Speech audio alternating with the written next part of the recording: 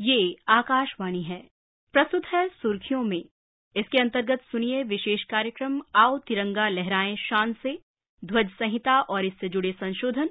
इसे प्रस्तुत कर रहे हैं आकाशवाणी संवाददाता आनंद श्रीवास्तव।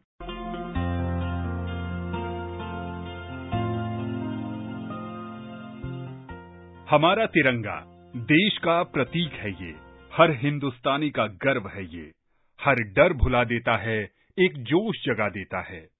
सूरज सा नारंगी तेज है इसमें, शांति का सफ़ेद संदेश है इसमें। इसमें खुशियों की हरियाली है, ये चक्रवर्ती चक्रधारी है। इसकी अलग ही शान है, ये हमारा तिरंगा महान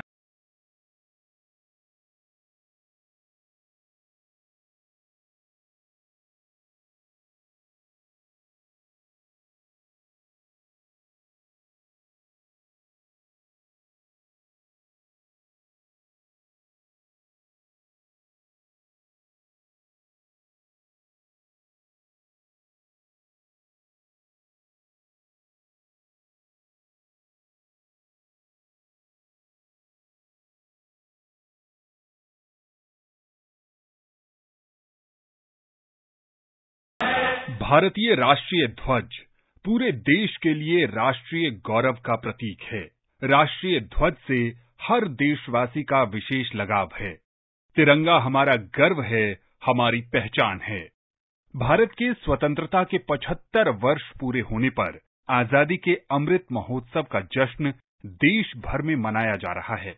ऐसे में सरकार ने तिरंगे से और आत्मीय संबंध बनाने को प्रेरित करने के लिए हर घर तिरंगा अभियान की पहल की है। ये 11 से 17 अगस्त के बीच देश भर में मनाया जाएगा। ये अभियान अपने तिरंगे की आन, बान और शान को समर्पित होगा। ये हर एक देशवासी को राष्ट्र निर्माण में उसके योगदान के प्रति प्रतिबद्धता और जज्बे को दिखाने का एक सुनहरा अवसर होगा।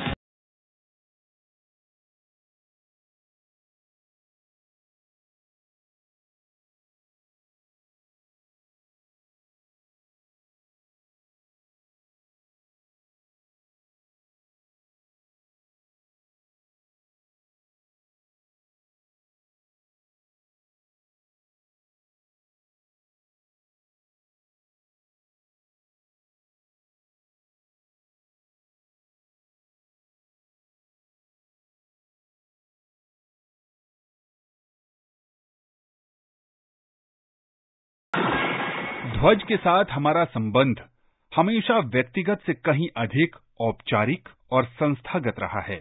आज़ादी के पचहत्तरवें वर्ष में एक देश के रूप में तिरंगे को सामूहिक रूप से घर लाना न केवल तिरंगे से व्यक्तिगत संबंध का प्रतीक है, साथ ही राष्ट्र निर्माण के प्रति हमारी प्रतिबद्धता का परिचायक भी है। इस पहल के पीछे की सोच है कि लोगों के दिलों में देशभक्ति की भावना को जगाना और अपने राष्ट्रीय ध्वज के बारे में जागरूकता बढ़ाना। हर घर तिरंगा अभियान का उद्देश्य लोगों को स्वतंत्रता दिवस के अवसर पर अपने घरों में राष्ट्रीय ध्वज फहराने को प्रेरित करना है और इस पावन पर्व पर राष्ट्र प्रेम और राष्ट्र अभिमान की भावना का अनुभव कराना है।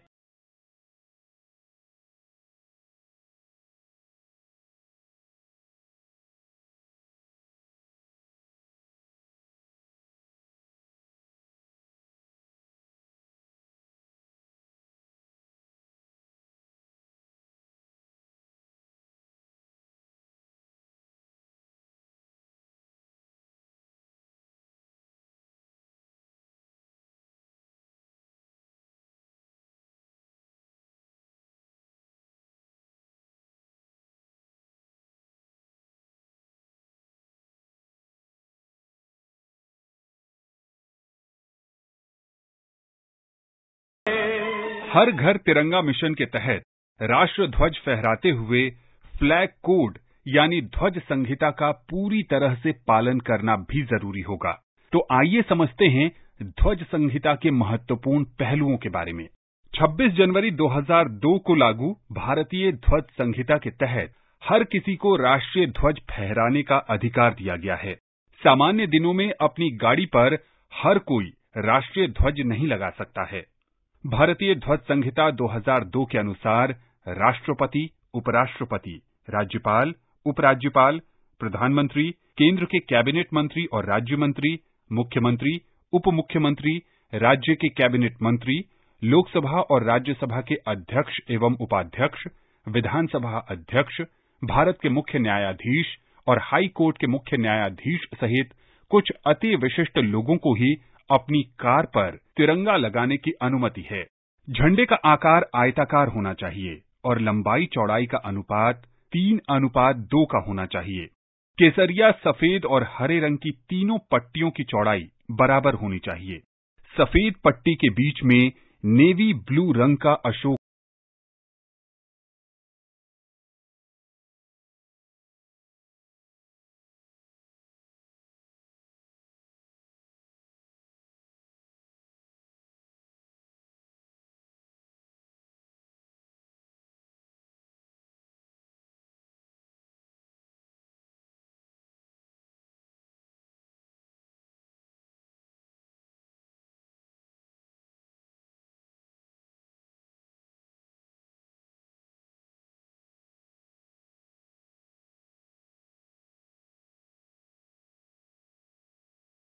उपयोग नहीं किया जा सकता और न ही इसे किसी को सलामी देने के लिए झुकाया जा सकता है। सरकार द्वारा निर्धारित विशेष स्थिति के अलावा किसी भी अन्य स्थिति में झंडे को आधा झुकाकर नहीं फहराया जा सकता है। राष्ट्रीय ध्वज को जलाने, काटने, फाड़ने, गंदा करने, कुरूपित करने, कुचलने, मौखिक या लिखित तौर पर अपमानित करने पर तीन वर्ष तक की सजा और जुर्माना हो सकता है। तिरंगे पर न तो कुछ लिखा होना चाहिए और न ही कोई अन्य तस्वीर या चिन्ह बनाया जा सकता है। पोशाक, वर्दी, तकिया कवर, रुमाल, चादर, नैपकिन आदि में तिरंगे का इस्तेमाल अपराध है। तिरंगे को जब फहराया जाए तो वो कटा फटा अस्त व्यस्त गंदा या सिला हुआ नहीं होना चाहिए। केवल ध्वजारोहण के लिए तिरंगे में गुलाब की पंखुड़ियाँ बांधी जा सकती है। तिरंगे का इस्तेमाल किसी प्रतिमा अथवा स्मारक को ढकने के लिए नहीं किया जा सकता है। झंडे को जानबूझकर ज़मीन या फर्श पर छुआना या पानी में डुबोना अपमान की श्रेणी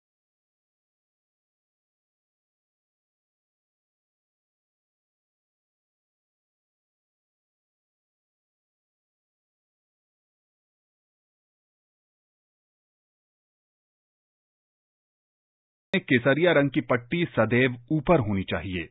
झंडा जहाँ फहराया जा रहा है, वहाँ उसे फैलने के लिए पर्याप्त जगह हो। तिरंगे के ध्वज दंड, यानी झंडा फहराने की रॉड में उसके साथ कोई और झंडा नहीं बांधा जा सकता है। किसी दूसरे झंडे या पताका को राष्ट्रीय ध्वज से ऊपर या ऊँचा या बराबर नहीं लगाया जा सकता है। विशेष अवसर के लिए बने पेपर के राष्ट्रीय ध्वज को भी फेंका या फाड़ा नहीं जा सकता है। उसका निजी तौर पर सम्मान पूर्वक निपटारा करना होता है। अब बात हाल में हुए ध्वज संहिता में संशोधन की।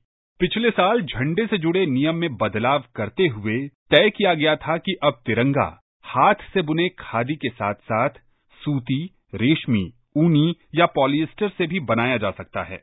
इतना ही नहीं, इसमें हाथ से बुने कपड़े की जगह मशीन से तैयार कपड़े का इस्तेमाल किया जा सकता है। झंडा नियमों में आए बदलाव के चलते देश में इतने बड़े पैमाने पर सामने आने वाली मांग को पूरा किया जा सकता है। तिरंगा बनाने के काम में स्वयं सहायता समूह और एनजीओ कुछ उसी तरह की भूमिका निभा सकते हैं, जैसे कोविड आपदा के समय उन्होंने बड़े पैमाने पर मास्क बनाने का काम किया था। तो तैयार हो जाइए। आप सभी देशवासी हर घर तिरंगा अभियान से ज़रूर जुड़कर देश और राष्ट्रीय ध्वज के प्रति सम्मान दिखाइए।